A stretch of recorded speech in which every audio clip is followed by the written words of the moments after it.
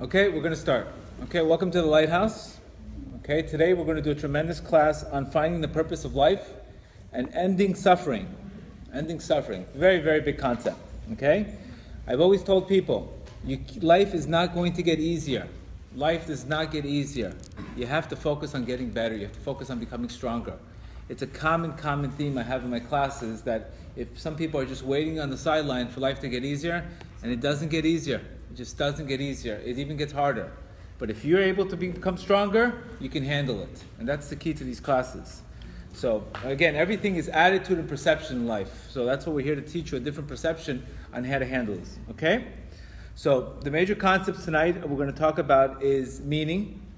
We're going to talk about a book by Viktor Frankl called uh, Man's Will for Meaning. And we're going to talk about a few other things. Okay? So, once a person is able to have meaning in his life, once a person finds meaning in his life, that's when all suffering disappears. When a person is able to know that everything's happening for him for the best, that's when he's able to have all suffering disappear.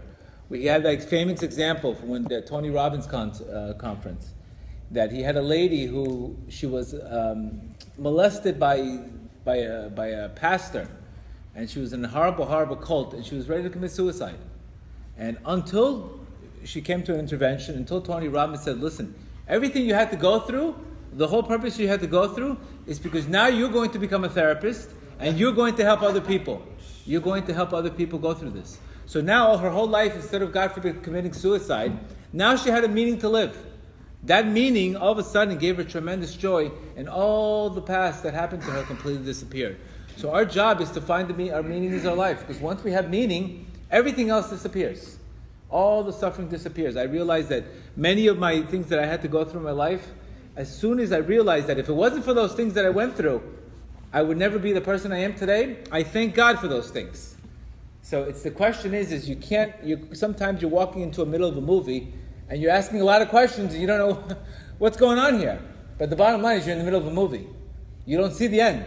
And the key is to have trust and faith in God, to realize that whatever God does for you is, is, is for the best.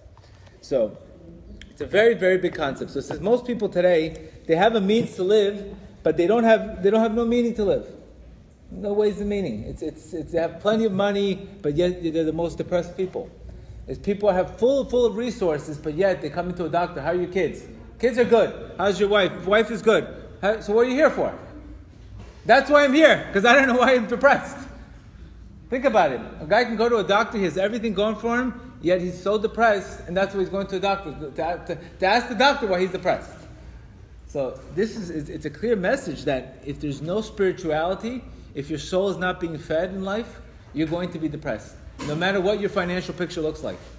I don't care who you are. That's why you see the, the majority of people in Hollywood are, God forbid, a lot of people are depressed, and yet they're in top of the world. But at the end of the day, those are the saddest people. Okay? So, again, nowadays, if a person doesn't have meaning, if a person does not find meaning in his life, what is he going to get? What do you think comes after when a person does not have meaning? It's called, Viktor Frankl called the neurotic triad, which is what?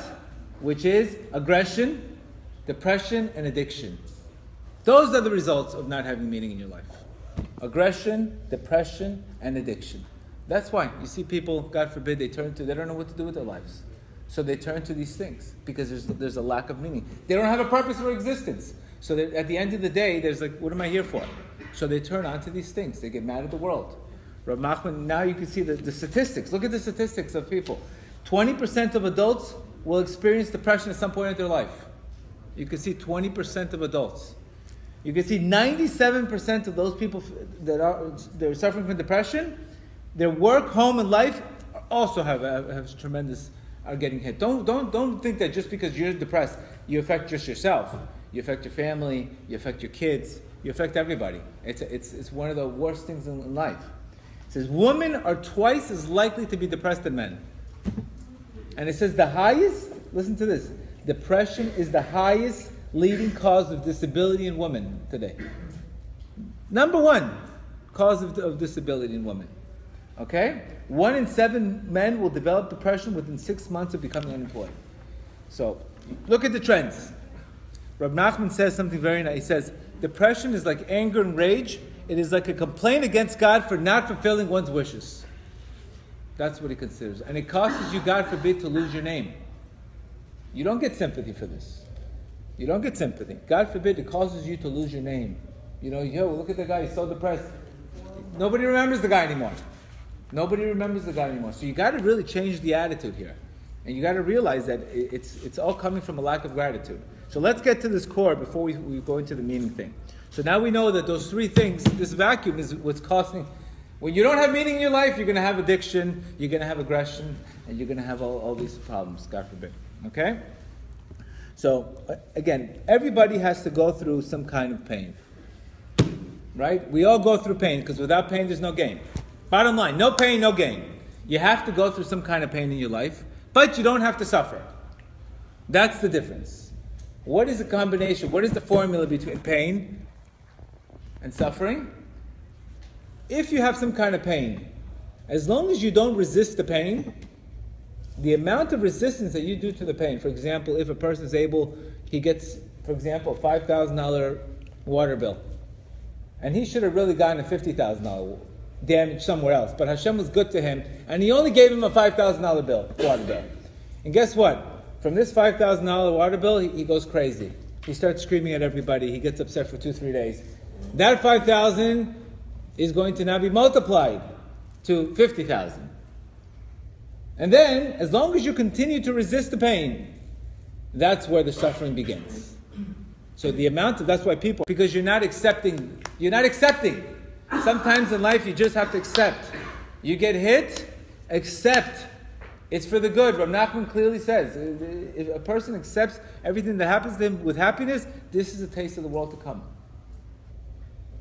So you have to accept, stop resisting pain. I tell people all the time stop resisting pain because it's only going to turn, your suffering just gets greater and greater and greater. You're doing it to yourself.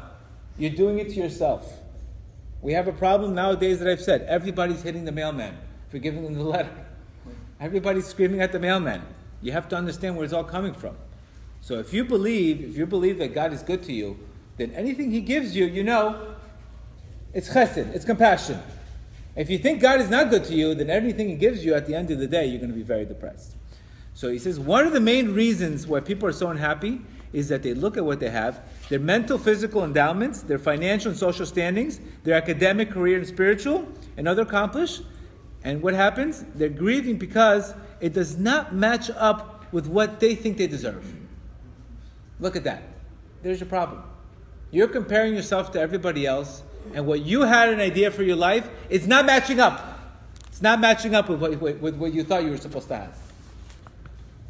Your expectations were too high. So there you go. Doesn't match. What's going on here? Hashem, you got the wrong guy. You got the wrong guy.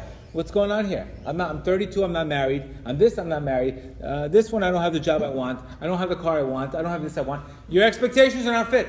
Are not filled. There you go. That's the cause of the major cause of depression. Because who's deciding? He says here, they compare the sums with others, right? And this just what? It just makes it worse and worse and worse. The more you compare yourself to other people, it becomes worse and worse and worse. Essentially, this unhappiness is self inflicted. It comes from using the wrong standards to evaluate your life. So, there you go. That's one of the major causes. The minute you stop comparing yourself to other people, because you're everybody comes here in this world with a different mission than this guy. This person has to do this, another person has to do that, another person has to do this compared to the previous lifetime. So you can't compare yourself to other people. You can't compare yourself to other people because you're going to put yourself in a quick depression. Unfortunately, people spend all day on, on, on instant media watching whatever people have and envying them. Of course. Of course, it's going to put you depressed, God forbid. So now you have to understand what's the, one of the major causes. Your standards are not being fit. So, what are you going to do about it? So, there's a lot of people that I see that are crying. A lot of people I, I talk to. A lot of people are in a lot of, they're crying. But I tell people, you're crying over the wrong thing. You're crying for the situation. You should be crying to become better. Stop crying for the situation. If you cry to become better, you know what happens? You're going to get a reward at the end of that cry. Right now, you get no reward. You're crying because you don't see life as the way it should be. But if you cry to become better and you cry to become to get through the situation and to become stronger, then you get a reward for it. And that's that's the key. You're crying anyway. One guy gets a reward because he came out of it, and another guy gets nothing. I always told people, write, pretend your life is a movie, write the superhero to the story. Half of it is, is what had happened, write the ending. How would you like the ending to be? How would you like the ending to be? The guy, this happens to him, this happens to him, next thing you know, he becomes a superhero. Write that story for yourself. You have that option. You have that option. So the key is, is, is, is the attitude. So it says, unfortunately, and people, they, they erect and build a prison, and they don't even realize they're in a prison. People erect a prison around them, they don't even realize. I told people, you're in Alcatraz. You don't realize you're in Alcatraz, but you're in Alcatraz. You think you're in Miami, you're in San Francisco, my friend. You're in Alcatraz. Uh-huh. Because you're, you're constantly tied to your emotions. That means a person who's constantly emotionally tri- tied to his problems, he can't get out of his emotional problems, he's in, he's in a jail. Because he's never going to accept the way life is given to him. And unfortunately, that's it's bitterness. Yes, you can have money, you can have that, but if you can't sit there and, and, and be disciplined over your emotions in life, you're going to be miserable. Okay? So it's your decisions, not your conditions, that determine your life. Remember that. There's very rich people that have nothing, and there's very poor people that have all the happiness in the world. So it's your decisions. Your decisions. What do I focus on in life? What, what, is, what, what do I focus on in life? What do you focus on the half of the day? Do you focus on things you have or do you focus on things you don't have? What do you focus on? Do you focus on other people's expectations? What do you focus on? So all this is literally, literally a spiritual salvation. I'm going to give you guys a huge, huge, huge tip tonight that I think it's one of the, this is literally what caused me to, to break through everything is when I was in my situation, and I thank God, Hashem has blessed me with kids, and, and I was uh, a house, and ja, and thank God, companies, etc., etc. And when I was going through my problems, all I could focus was on the problem, because wherever focus goes, energy flows. So all my focus went on the problem, and I couldn't believe, I couldn't see all the good that I had. I couldn't believe it. I see it now. I'm like, oh my God, how ungrateful was I? I couldn't believe, but why? Because I was emotionally driven. So the day I said, you know when it started becoming over, the whole problem for me? The day I said, thank you for this situation right now. That means I don't have to be happy tomorrow. I'm happy right now. I'm happy right now. When you say to yourself, I don't ha- I'm not married, I'm happy anyway. I don't have kids, I'm happy anyway. I don't have this, I'm happy. Because people think, if I have a new car, I'm going to be happy. If I have a new wife, I'm going to be happy. If I lose 10 pounds, I'm going to be happy. You got the wrong approach. Because after that, something else is going to need to be happy. If you say to yourself, I'm happy right now, I don't care what I have, I don't need a nicer car to be happy, that's real happiness. Because you'll be happy now, and when you get the new thing, you'll be happy. Because you don't need something physical to make you happy. After questions, because this is a long speech. You don't need something else to be happy. And it's just like a kid who's got 10, 10, 10 toys in his room, and he says, I'll be happy if you give me the 11th toy. The parent's going to go to him, I'm not giving you an 11th toy. Be happy with what you have. Be happy with the 10 toys. You have 10 toys, be happy with the 10 toys. Then maybe I will give you an 11th toy. But right now, you don't understand what you're sending in Shemaim. People are sending ungratitude tremendous amount of ungratitude because if you if you say to yourself, "I'll be happy if this happens to me," or "I'll be happy if that happens to me," you're you're going to be unhappy your whole life. Because what happens if your expectations don't get filled? What do you do? You close up. You come back as another Gilgul. What do you do? What do you do? What do you do? What happens if your expectations don't get met? What are you probably going to do? Not be happy. not be happy, and be ungrateful. And then everything else is going to be ungrateful. So this is a very, very key lesson, and I had to go through a very expensive lesson to realize only when I said thank you for right now. That means I don't care if I finish this problem. I, I don't care if this, this thing gets resolved. I'm happy because I'm going to focus on the things that I have, not the things I don't have. This is one of the strongest lessons, and I don't understand why people are not screaming this lesson. But at the end of the day, it's nothing. Most people have problems because just good old fashioned ingratitude. Good old fashioned ingratitude. Stop changing your mezuzahs. Stop asking the rabbi for a kamiyah, unless you ask the rabbi for a kamiyah for ungratefulness. Give me a segula to be, un- to be grateful. If you want to ask a rabbi to give you a segula to be grateful, that one might work. The other ones don't work. Because you have an ungrateful person buying segulot. I've never seen people, I've never seen. They're buying segulot so they can be happy with the thing. Uh, uh, uh, what are you, you you're going to bribe God? I don't understand. I don't understand. That's, that's exactly what's happening if you're looking at it. But at the, at the end of the day, it's old fashioned ingratitude. And if you want to make a major change instantly, if you want to have a major, major change in your life instantly, not tomorrow, right away, say, you know what? I changed my whole attitude in life. I said I, I changed everything else in life. I'm going to be happy right now. Once I did that, everything else worked out for itself. Because I said, always said to myself, when this problem is happy, I'm going to be happy. And guess what? I waited a year and a half for that problem. And I'm like, oh my God, how about if it takes another year and a half? I have to be on the sidelines to be happy for another year and a half? This is ridiculous. Something must be wrong. Something must be wrong. So that's, that's, that's, this is a tremendous lesson. If you just came for that, for that little line, that I don't know, that line came to me uh, at Hatzot in Hitbodedut, that this is the key. That's why even the Goyim, they all tell you, you want to change your life? Focus on gratitude. Because you can't complain and have gratitude at the same time.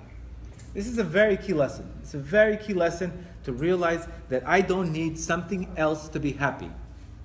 If you continue with this behavior, you're going to be miserable because you're constantly expecting. You got to turn your expectations into appreciations. Expectations into appreciations. Very simple. Just switch, switch it. Turn it on and turn it off. Then you're going to see all the things you have in life. And you're going to see all the things, you're going to appreciate the little things in life. But right now, when you're when you're not focused on that, then you really can't experience those things. So this is one of, one of the most important lessons I can probably tell you. And that's one of the things that really made the biggest, biggest, biggest change in my life. Okay? So, again, we need to turn this, our expectation to appreciation. Okay? So let's talk about Rab Nachman's, what does Rab Nachman consider the purpose of existence? Okay? And then we're going to get into Viktor Frankl's book. Okay, so Rab Nachman says very clearly if a person does not focus on the goal, why is he alive? What's the purpose of you being here tomorrow if you're going to do the same thing today? What's the purpose? What's the purpose of another ungrateful kid? What's the purpose? What, what, what's the purpose of his existence if he's not, if he's not going to do nothing for, for the world?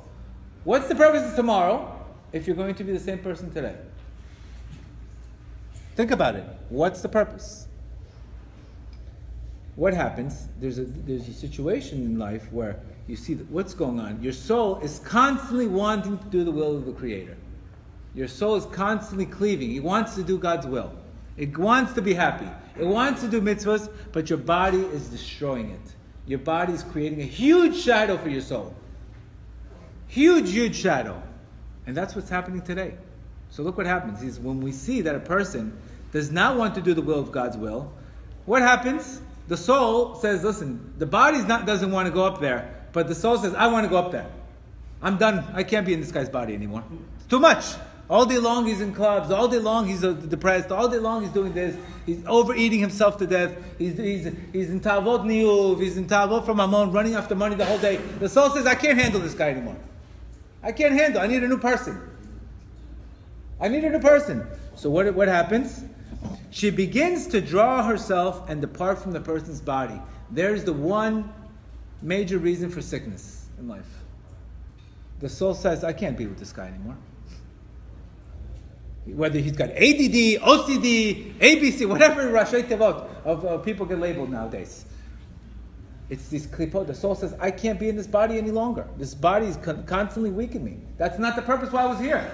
Just like I gave that class today. Your body's not here to sit all day long. Your body's here to move. You're not born, you're, you're not created just to sit and play on your phone. You're created to move. So the same thing here.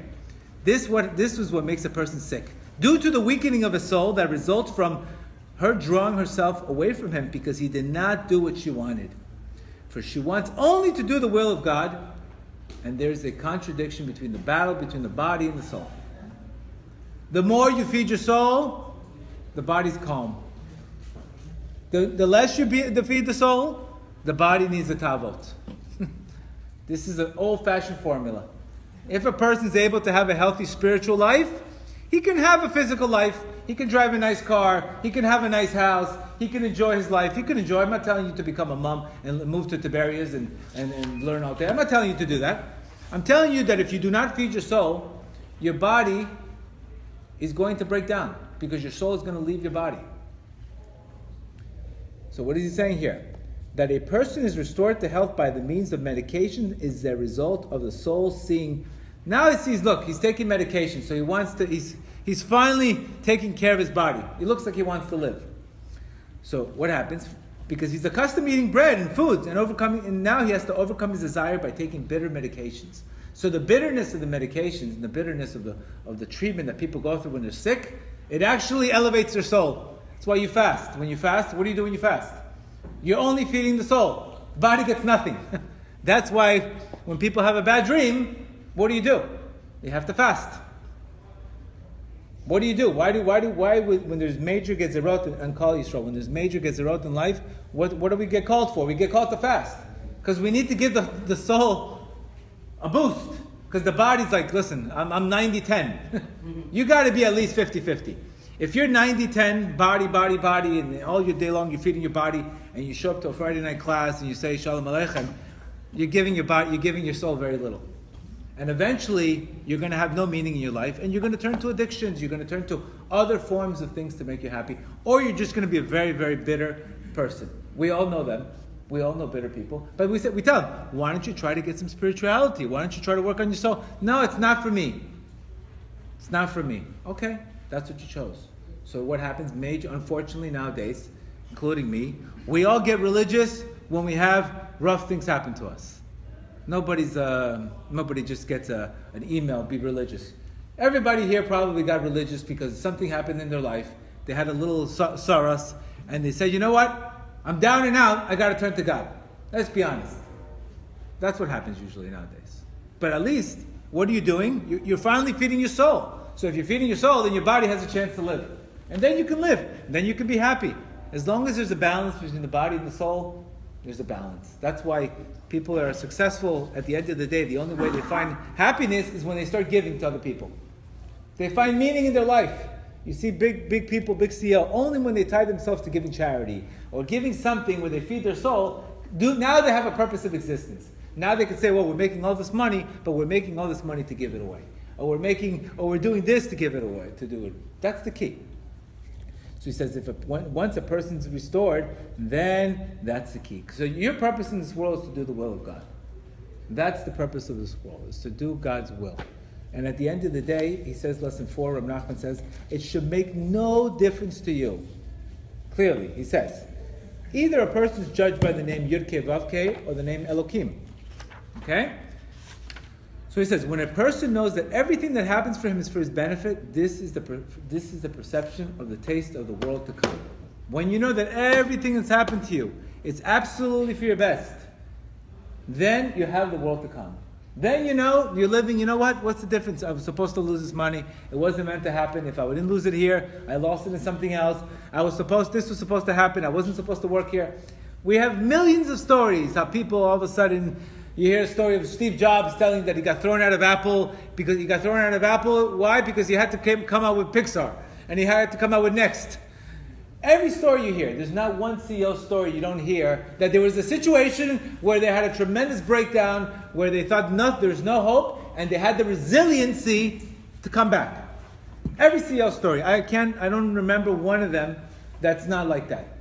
That a guy who made it, he had that moment where he thought the worst thing happened to him, but he, somehow he found the will and he found the way to come back. That's what you guys have to do. That's what people have to do. They have to wait for that comeback. Not be on the sidelines. That means you're going to get called to make that comeback. But unfortunately, if you're on the sidelines depressed, where's the guy? We called him out. Come. No, he's, he's depressed. Oh, he missed a shot. That's what happens. That's the danger of becoming depressed. Because you're never going to get that, that turnaround. So if you realize that God is good to you, I say every single day, God is good to me. Rab Nachman has another Torah that clearly says, Ve'ahavta l'recha kamocha.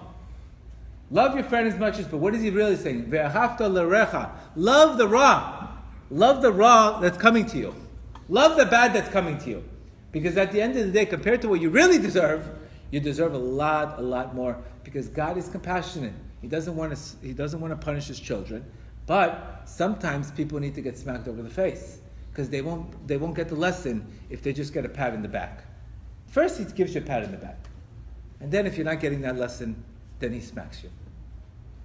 I know me, I got smacked. Heavy duty. But if it wasn't for that smack, I wouldn't be doing what my purpose in life is to do. I wouldn't know what my purpose is. If you don't get yourself out of the comfort zone, Hashem will get you out of your comfort zone very quickly. But that's going to be very painful. That's going to be very painful. So the key is, once you know that Yud Vavke, which is Hashem's name, and Elokim, which is the name of judgment, is one. It's all coming from one. When we say every single day, Shema Yisrael Adonai Eloheinu Adonai Echad. It's the same Shema Echad. It's all one. It's the same God of Elokeinu and Yud Vavke. It's the same God. It's not two gods punishing you. It's one God. Sometimes people see, whoa, what's going on in my life? No, but it's the same God. Once you understand that, then you realize, wow, I'm getting off a bargain. Every time I get hit, I got a deal. I say to myself, I got a deal.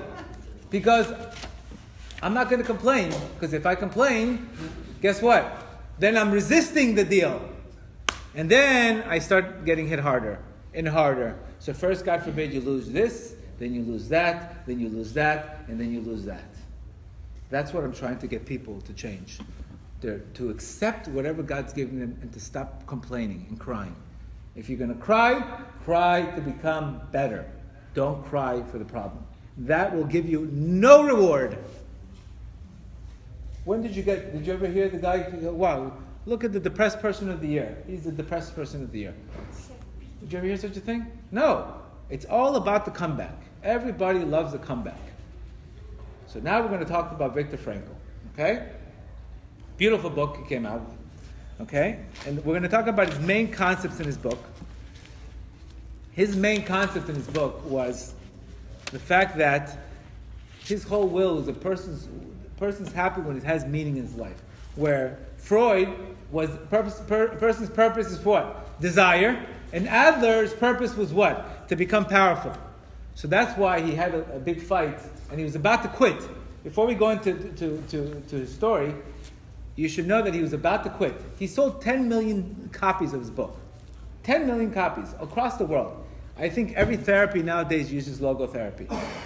The Lubavitcher Rebbe came to him. Unbelievable story. Before we start this, there's a story. The Lubavitcher Rebbe, he was about to quit, and the Lubavitcher Rebbe had a, a common friend that he says, by the way, if you're going to Vienna, I need you to I need you to visit Viktor Frankl.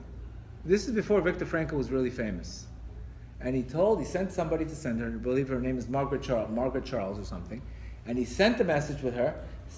And she went all the way to Vienna, and she, the Lubavitcher Rebbe told Viktor Frankl, sent a message. This is a message from, from the Lubavitcher Rebbe. Do not stop your work. Your work is going to be very powerful, and it's going to help out millions of people. Look at the Lubavitcher Rebbe. He had the insight on how, how important this concept is today. Look at the Lubavitcher Rebbe, how, how, how the tzaddikim had this concept.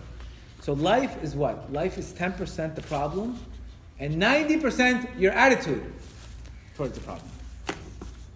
Life is 10% the problem, 90% your attitude towards the problem. So he was, he was a psychiatrist who suffered through the Holocaust. Okay?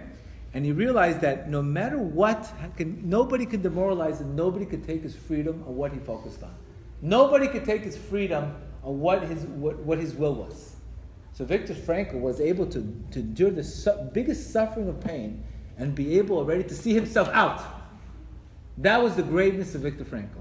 To realize, he, to go through so much pain in your life and to be able already to see yourself out. So they realized the people who survived, the, many people who survived the Holocaust and who didn't, the ones who survived were the ones that were able to find meaning to their suffering. And they were able to see, after the Holocaust, I'm going to reunite with a loved one. I'm going to reunite, reunite with somebody. And that was the key. If the person already had a goal that he was getting out, he was getting out. Which is otherwise so the same thing. Right. Which is that was the major key. The people who gave up, God forbid, they, they, they died Lashem Shemayim.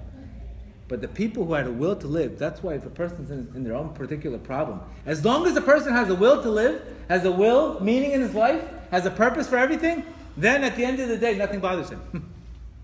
Because he's feeling God's will. That's the key. So what are the main main concepts of this of Viktor Frankl's book? Says, everything can be taken away from you. Everything can be taken away but one thing. Your attitude towards any situation.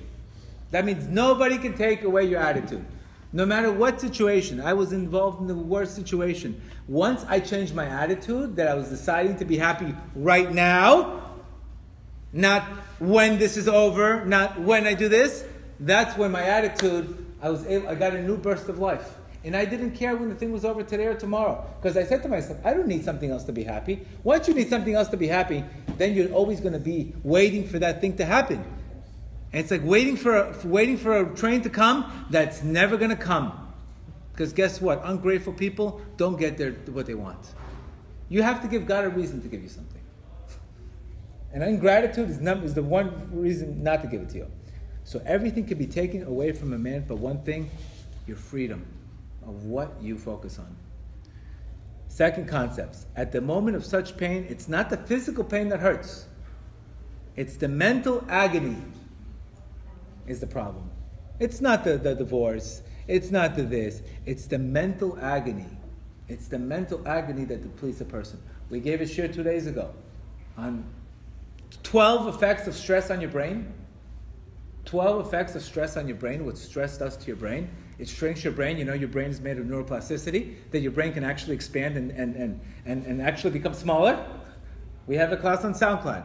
I gave 12 reasons on how you can lose your memory from, from stress, prolonged stress, God forbid, creates radicals, creates toxifications, all kinds of things. Tremendous amount of cortisol. What happens? That's what Rab Nachman says. Do not do tshuva on Mochim Gadlut. Don't do tshuva when you're depressed. You won't be able to, because you won't have the head to get out of it. You need to do tshuva when you're Mochim Gadlut. When you're Mochim Gadlut, when you have expansion. When you have expansion of intellect, oh, now I realize that I was ungrateful. When I was, uh, when I was in that problem, I'm in Mochim Katnut. I'm the victim. I can't see the good. You can't do tshuva then. Because you're, you're not in the state to do tshuva. You're in the state of Mochim Katnut. That name is Elohim. That's the guy who's ungrateful, so he's going to get one judgment after another judgment until he realizes, whoa, let me realize what I'm doing is not working. So you have to do tshuva on Mochim Gadlut. Mochim Gadlut, you have to, that's Yirke Vavke. That's the name of expansion. So if a person is able to do tshuva, he's got to do tshuva on the Yirke Vavke. On the Elohim, he won't be able to do tshuva. That's why you have to have Mochim Gadlut. You have Mochim Gadlut, which is higher intellect, is only through happiness. Only through happiness. Listen to what he's saying here. So it's, again, it's the mental agony that's destroying you. It's not the snake bite. It's the it's the venom. It's the emotions. It's the fear of the future. It's the amalek. It's the thinking you're never going to get out. That's what's affecting the people. Okay, listen to this. Unbelievable, unbelievable line. I've, I've used some of these lines that are unbelievable. In some way, like we said, suffering ceases to be suffering at the moment you find meaning like we just spoke about before. The minute you find the purpose, the minute you realize this gam zu l'tova, that's when everything else is gone. Everything, all the suffering disappears in one shot. Like I told you, there's how many stories do I know? I tell people that were drug addiction. You know, if you didn't go through this drug addiction, you would be never be connected to Rabbi Nachman. And nowadays, you're doing one average Hitbodedut a day. For you to get to an average Hitbodedut a day, you have no idea how high the level is. If you would have never gone through this addiction, you would have never even thought about it. How many people I, nowadays that are there, there are people in addiction that are now teaching classes to 40, 50 people in AA that I see. If you never would have gone through this addiction, you would have never been teaching classes in AA. You would never find the purpose of your life. But you have to go through that, through that situation to feel another person's pain. So that his whole life makes sense to him. He doesn't. He's not even focused on addiction anymore. He's not even focused on relapse because he now he knows his purpose of life. His purpose of life is to help other people deal with addiction. Because another person cannot talk the same language as another person who's on heroin and, and at three o'clock in the morning. Because that guy hasn't been on heroin at three o'clock in the morning, but this guy has, and he knows how to get to his brain. So people go through once you realize the meaning that you, this whole purpose was was to do this, or or or, or, shidduch broke up with one girl, and I, I know people that they're depressed because somebody didn't didn't text them a message, an email, half an hour. Oh my God, this girl doesn't like me anymore. I'm depressed. Are you kidding? Don't force it. Maybe that's not the one for you. You're forcing something to happen. You're, you're trying to put a, a square in a circle, shoving it, shoving it. Maybe it's not supposed to happen. That's why you have to have emuna. Emuna is to know that everything that happens for you is for the best. If it's not, this girl wasn't supposed to marry you. It's funny, Rav Nachman talks about that sometimes a person has to meet four or five people in a shidduch before he meets his, his, his, his bride. And the dates are part of getting to the goal. so if you understand the dot, if you understand the knowledge that all suffering is one thing, is a lack of dot. The only reason why a person suffers is because he has no knowledge of why this is happening for him. If he has the knowledge, why do you need to suffer? That's the key. He says, listen to this line. Unbelievable line. When we are no longer able to change a situation, we are challenged to change ourselves. Million dollar line. There you go. When you can't change a situation, when you can't change it, no matter how much you cry, now you have to challenge yourself to change the situation. You have to change that situation. And see the situation differently. Major concept. Because people are doing what? They're trying to change the situation. And guess what? It's not changing. You have to become stronger. That's why I tell people life does not get easier. You have to become stronger. If you're expecting life to get easier, you're just going to wait and wait and wait. It's not happening. It's not happening. There's more and more things to focus on, God forbid, in this world. But if he knows, if he focuses on becoming stronger, learning Torah, talking to God, then at the end of the day, he's just as strong as his Yetzer Hara. And he can deal with life. But when you, when you have no Torah, when you have no, no you're not feeding the soul, yeah, you, something happens, you don't know where to run. Rav clearly says in wisdom that a person who has no muna has no life. You think he has a life, but he doesn't have a life. It looks like he has a life, but deep down he's not. He doesn't have a life because he doesn't know where. Who who do I turn to in this problem? Where do I go? Where do I go? We, I know, thank God, I'm fortunate to do Hitbodedut every day. I have a problem, I know where I go. I have an appointment every, every morning, four, five, six o'clock in the morning. I talk to God about the problem. That's it. That's all I have to do. I empty out the problem. Here you go, God. This is the problem I have. Teach me how to become better in the situation. Not, don't change the situation. See, people are trying to pray for a situation to change without them changing in the situation. Do you understand that that's like completely impossible to happen? You can't change God. You can change your, your perception. That means if you understand, you go to Mochen Gadlut. If a person goes to higher intellect, then he's able to understand life. So again, when you are no longer able to change the situation, we must we are challenged to change ourselves. So if you're not focusing on constant tshuva, how are you getting out of any situation? That means you have to realize that you viewed the situation. I viewed the situation. How did I change my situation? I view, I view, realized that I had tremendous amount of ingratitude. I didn't realize how much ingratitude I had at that moment. I didn't see it because I'm when you're in a storm, you can't see when you're in the storm. Why? Because there's a storm.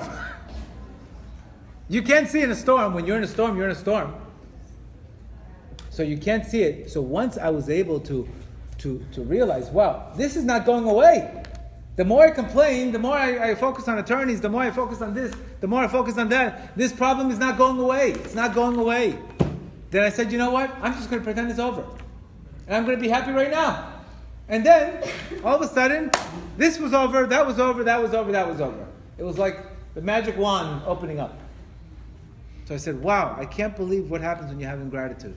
Because ingratitude is really a form of gava. It's the ego. The ego is not accepting. How could you? You gave charity, you did this, you, this is what you should go through? Why me? Why is that's what why is happening why is life happening to me? It's a famous line by Tony Robbins. It's happening for you. It's happening for you, not to you. If you think life is happening to you, victim. If you think life is happening for you, it's an opportunity. So when you, this is such an important line. Stop focusing on situations to change. Start focusing on you to change, to view the situation differently, and start changing your focus to focusing on what you don't have to focusing on what you do have. You could, you could solve the whole singles problem today by all of a sudden everybody being happy with themselves. That means they don't have the pressure of the marriage. I have a pressure now. I'm going to date. Oh my God! It's I'm 27. I'm 35. I'm not married yet. So they're going into the dates fidgety. They're, they're, they don't know what to do. They're, they're just they're all banged up. If they were happy with themselves, Hashem, if this is meant for the shidduch, it's meant to be. If this not, it'll be somebody else. Whatever you send me is for my best anyway. I'm not going to sit there and try to force, oh, we have to get married now. We have to get married now. If we don't get married, I'm going to be 28. If I'm 28, what's going to happen to me? I'm going, what are people going to think of me? Who cares what people think of you? Who cares? Who cares what people think of you? The minute you stop caring what people think of you, then you have freedom. The minute you worry about what people think of you, you have no freedom. You're going to marry the wrong person because of what people think of you. You're going to get into the wrong profession because you're the wrong what people think of you. Sometimes people get into the wrong professions because they oh, oh, no, he can't be that. He has to make everybody happy. So I have to do this, something I completely do not like. So I'm going to be miserable because I'm going to make everybody else happy? You think that's going to make you happy at the end of the day? No. That's where you spend 90% of your life at work. Do go to work and do something you don't like to do, you're going to be very depressed. I guarantee you. Okay? So he says something very deep, which, I, which I've responded, which I spoke about many times. Everybody has a, a situation, an event. Okay? So he says between the event, you have two responses. You can either respond or you can react. And depending on whether you respond or you react, the outcome is completely different. We have a lot of people reacting. When you react, what happens? What do you usually what happens usually when you react? You get what? You get angry. You get emotional. You just say whatever's on your mind. Did you ever apologize to somebody the way I'm sorry the way I responded to you? You never apologize, guy. I'm sorry the way I reacted to the situation. When did you ever apologize for responding to a situation? Did you ever say, I'm sorry the way I responded? No, because that means you have to think about it. If I respond, I have to think. That means I don't just answer to anybody. First, I think about it. Something, somebody's attacking me. Okay, I see this person's in a lot of pain. Right? This person's in a lot of pain. So I view them. They're just screaming because they had a rough day. If I go into, if I join that emotional drama, guess what? I'm going to react and I'm going to say, leave me alone, do this. I'm going to go, I'm going to join that, that, that, that nonsense. If I respond, I stop. Who tells you you have to react or respond? Who, is there a timeline when I have to respond? I can take four seconds to respond, five seconds. I don't have to respond when you want to respond. This is a very big key in Shalom Bayit. Because Shalom Bayit, they're going to ask you what? Where were you? What do you care where I was I? What do you care? I was, what do you think I was? What do you think that is? Reaction. Response. I have nothing to. I was here. I was here. I was, it's like a customer. Customer's complaining. Okay, no problem. We'll see how we make it better. Guess what happens if you see a guy screaming at a customer? What do you think if you ever see a salesman screaming at a customer? Sounds like this guy's a hothead. You don't scream at a customer. Who screams at a customer? A guy who doesn't have a job anymore. so your outcome in life is going to be what?